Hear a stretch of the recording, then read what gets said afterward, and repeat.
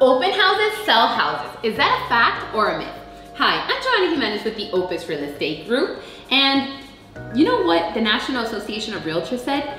7% of people are finding their houses through an open house and a yard sign. That means it's less than 7%.